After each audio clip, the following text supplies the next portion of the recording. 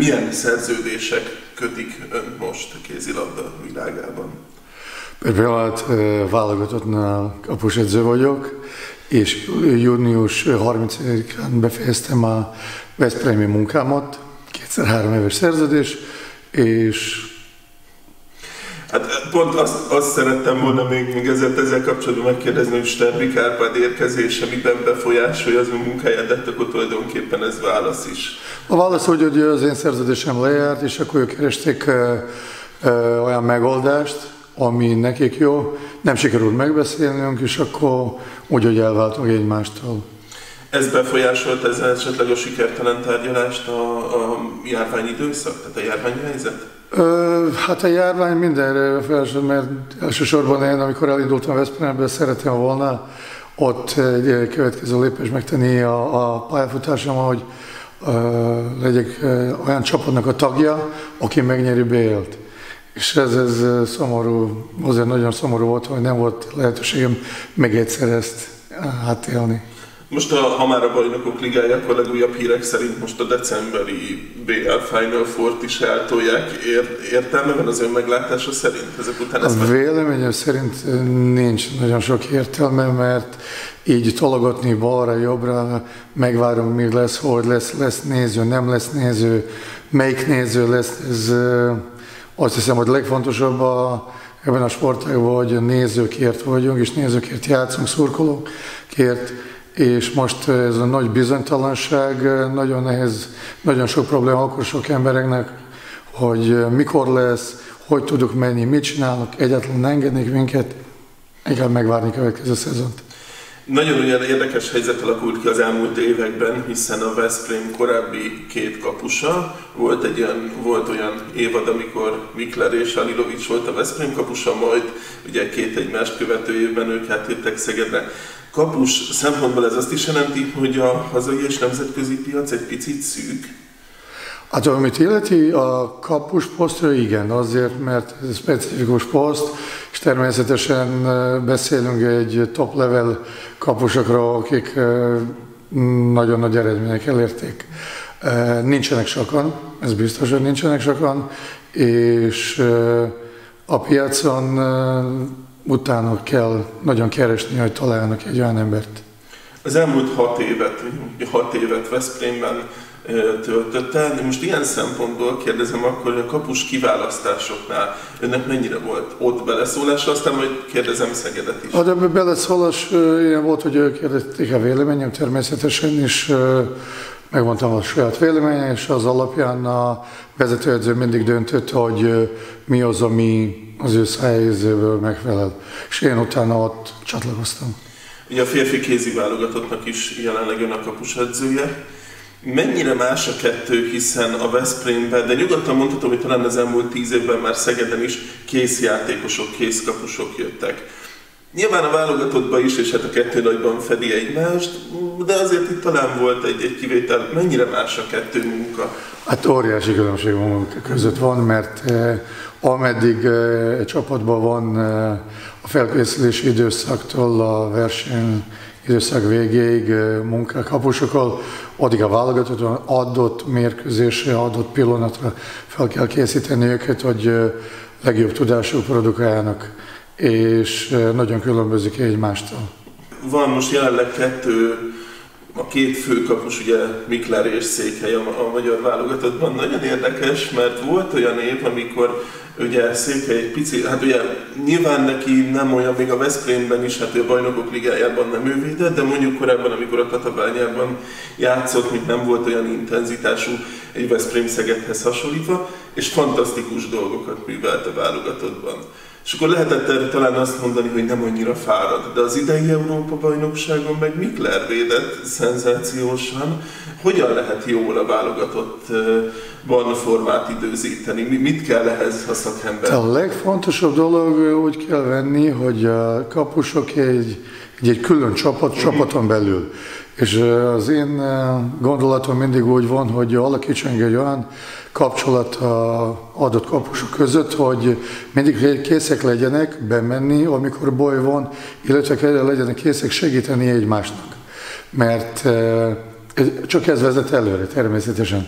Ez az, ez, ez az Európa bajnokságon megmutatta, hogy a Mikler még mindig fiatal idézőjelbe, és benne van még sok mindent, a, a, még jó pár éve van előtte, amit tud produkálni, és mögötte volt a Marci, aki minden pillanatban készen állt, de, de nem volt lehetősége, nem, nem lehetett cserélni egy nagyon jó, nagyon jó tevékenykedő kapus. Érdekes, mert egy picit ez a, ez a két személy különböző székhelyét, én magam, mint szurkoló, mint külső laikus, talán 20-as évei második felében lehetett jobban észrevenni, ugye most is már 29, 30, 30, 30 éves. Miklerre én emlékszem, serdülő 16-17 évesen itt, itt vendégként, ellenfiaként szerepelt Szegeden. Mikor kell egy kapusnak jól beérnie? Egy recept, illetve egy ilyen dolog, hogy mikor mi, ez minden egyéntől függ. Most beszélünk egy Marcival, aki még idézőjelben még nem mutatta minden, amit tud. Én továbbra is mondom, hogy ő 30 éves, de ő még mindig fiatal, van neki még sok minden, amit tud produkálni. Ezért mondtam, hogy a Roli is ugyanúgy fiatal, mert van még jó pár év, ami, ami tud tevékenykedni, és most az egyéntől függ, mikor ki fog produkálni legjobbat. Most adom egy példát, amikor két éve ezelőtt egy Milosavljev oda ment a Vardárhoz, 22 évesen megnyerte BL, mindenki az elején azt mondja, mit fog keresni ezt a fiatal srác, de ő elragadta ezt a lehetőséget, és már hozta, amit várhatott tőle. És mikor ki fog hozni, ez mindig a, idézőjelbe a, a, a kapusoknak fontos, de csapatnak fontos, hogy valamelyik köztük hozzon, mert a csapat eredmény ez legfontosabb dolog. A férfi válogatott kapus edzőjeként mennyire kell rajta tartani a szemét a hazai élvonalon? Hát természetesen szoktam nézni és követni kapusokat, akik érdekesek.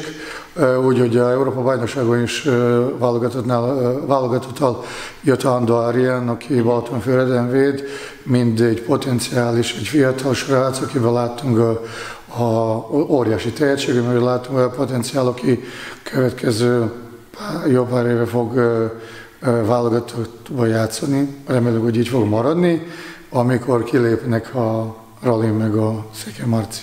Igen, egy kicsit a, a, a válaszban most pont tovább is vinném ezt a kérdést, hogy kiket lát a következő évben. Vannak, vannak nagyon sok fiatal kapusok, vannak még, nem is mondanám, hogy fiatal, mint Borbán Marcil, akkor ö, ott van egy Tóth Mihály, aki gyöngyösen véd, a Bartusz Lacival óriási problémák vannak a gerincel, és akkor most egyelőre, ameddig nem kezdje újra régi lenni, addig még egyelőre nem, nem, nem, nem fogunk vele.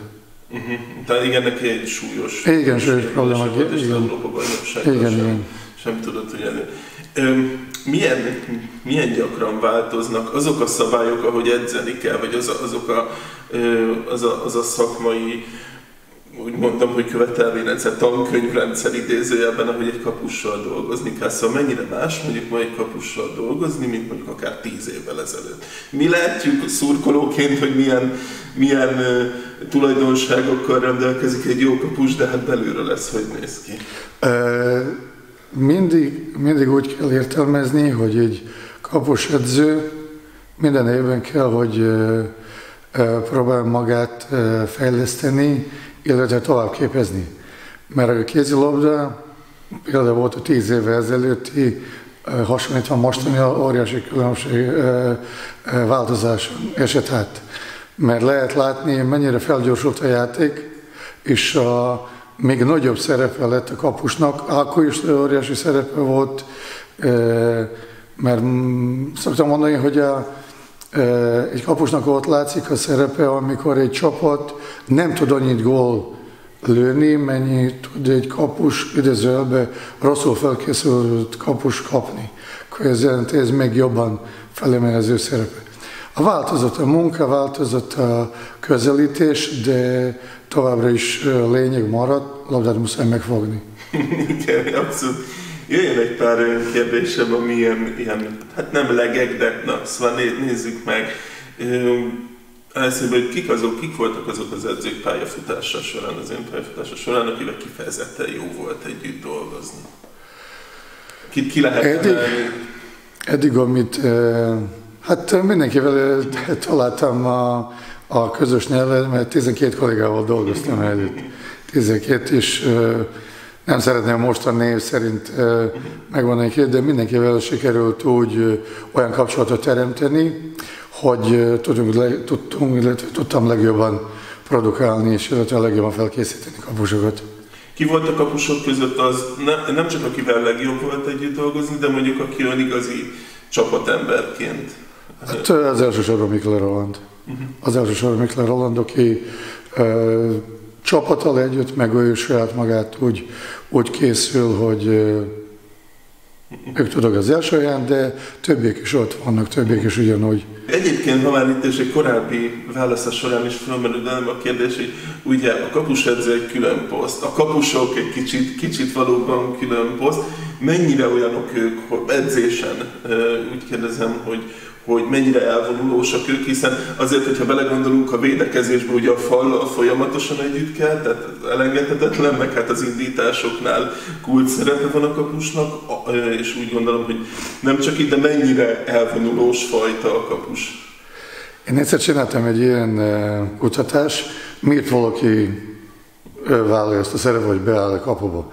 Mert ha megnézzünk, hogy egy normális ember, ha rádobjunk bármit rá, az első reakció, ami ösztönösen megpróbálunk kivújni, hogy elmenekülni tőle. A kapus pont olyan, aki fordított, fordítottan működik, aki oda teszi maga a labdára, akinek a siker, hogy megfogja a labdát, és akadályozza, hogy az labda kerüljön a hálóba. Uh, ami természetesen egy óriási fájdalma jár. De ő vállal ezt. Uh, ezért említettem, hogy uh, csináltam egy kutatást, ez ki az az ember, aki beáll oda. A, és olyan eredmények jöttek, hogy ember, aki nagyon szereti társaságot, aki szereti, szereti a csapatba tartozni, egy csapathoz tartozni, de kül, mint különc. Közben szeretne kicsit kivonulni, és úgy csapattól is örülni, de ő is saját magával, mint az egyéni sportágnál. És legközelebbi eredmények úgy megmutatta, hogy legközelebbi, ami állt hozzájuk, hát nem választott a kapusposztot, akkor küzdősporttal foglalkoztak volna. Úgy gondolom, hogy ez az olyan eredmény, hogy mi mutat, mit jelent egy kapusnak lenni. Folytatva ezeket a legeket, ki jelenleg bárhol, tehát az egész világon, hogyha nézzük, ki a legjobb kapus most? Uh, nagyon, gyakran, nagyon gyakran jön egy ilyen kérdés, hogy ki a legjobb. Uh, nagyon sokan vannak, és mindig az adott pillanat uh, adja a válasz. Ez mit jelent? Egy mérkőzésen lehet, hogy valakinek lesz 15-20 védés, és lehet, hogy csapat ki fog kapni, de lehet, hogy valakinek lesz 5 megfelelő időben is megfogni. És így a, a, per pillanat vannak olyan 10 név, amiről lehet beszélni, hogy ők per pillanat legjobbak. Mert ők hoznak, a, hoznak a csapatot a hátán, és ők hoznak az eredményt hónappal ezelőtt ugye azt hiszem a Chicago Bears amerikai foci csapat irányítója mondta többek között, hogy milyen egyszerű játék ez a kézilabda, meg hát a kapus az csak úgy dobálja magát, az vagy bejön, vagy nem. Uh, Olvasta ezt annak idején ezt? volt szerencsé olvasni, és volt szerencsé megnézni a edző, edző edzés, végül is edző mérkőzés, ami játszottak Ferencvárosán, FTC-n, Budapesten, és ott igazándiból volt látható, hogy nem nagyon egyszerű ez a kézilabda, mert eh, ha megnézünk szabályok kicsit eh, a számukra nehezek, mert be kell tartani. És ha megnézzünk a két sportágot, eh, sokkal komplikált a kézilabda, mint az amerikai foci. A, ők mutatták is, illetve saját magunk ellen beszélték, hogy egy évvel, egy év alatt tudnak felkészülni, hogy ők tudnak megnyerni a olimpiai játékok. Lehetetlen. Mondom, neki lehetetlen. Hogyan tovább most, mik a, mik a legközelebbi, közeljövőbeli tervek Veszprém után?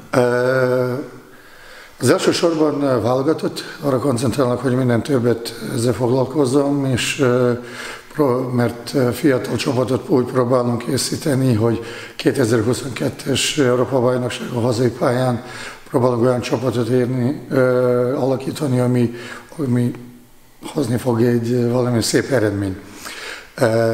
De közben voltak felkéréseim, vállaltam is a Cegledi kézlabda csapatot, akik most feljutották NB1-be, és akik beszél, beszélgetés a vezetőikkel, nagyon tetszettek a, a ötletei, illetve a tervei, úgy, hogy egy idő fogok most tölteni és segíteni nekik, hogy bent maradás, illetve a fiatal kapus felkészülés. És most még egy utolsó kérdés, ha már itt a fiatal csapat és a fiatal ütőképes csapatról volt szó, ön hogy látja, mi a fiatal játékosoknak az útja jelenleg a fiatal magyar játékosoknak, hiszen lehet látni, és nyilván, mint szurkoló, ezen elégedetlenkedhetünk, nem állítom, hogy én például nem szoktam, de hát egy Veszprém meg egy Szegedbe, ami szerintem a világ tíz legjobb csapata között van mind a kettő, igen nehéz bekerülni magyarként, ott kész játékosokat vesznek. Mi lehet a fiatal játékosoknak a megfelelő út? Hát első dolog, amit szeretnék ezzel mondani, hogy mindenki idézőjelben támad a Veszprém, meg a Szegedet ezzel, hogy a idege, idege légiósok itt vannak, ők játszanak. Úgy kell értelmezni, hogy ez a két csapat top level. Akkor ez jelent, csak olyan játékos bekerülhet oda, aki már valamit rakta az asztalra. És ez természetesen nagyon nehéz, le, nehéz lehet, hogy egy fiatal magyar tehetség oda bekerüljön és produkáljon, amikor melletted ugyanez a posztra még két-három a, a világon legjobb játékos van, és őket le kell győzni, ami óriási, óriási nehézség a, a, egy-egy fiatal játékosnak.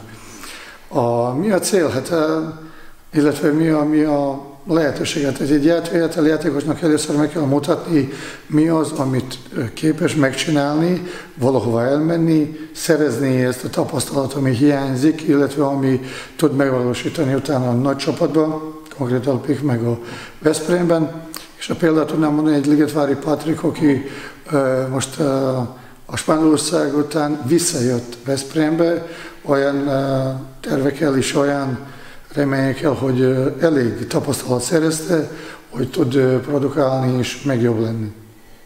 Hát ebben reménykedünk, és akkor akár 2022-re is. Köszönöm Igen, szépen. Én is köszönöm.